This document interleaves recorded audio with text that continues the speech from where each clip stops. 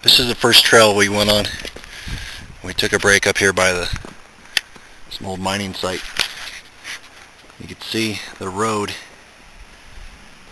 that we came up and all the way down there.